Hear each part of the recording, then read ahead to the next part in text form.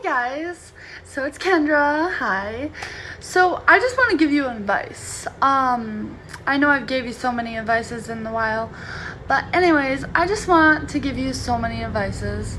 Like you guys are amazing, and I love your guys' videos, and like you guys inspire me, and like just know that keep up the good work and don't care what anyone thinks of you because you're amazing and wonderful. Like I see all these hate comments with people like treating people like crap, and you want to know what? It's not right.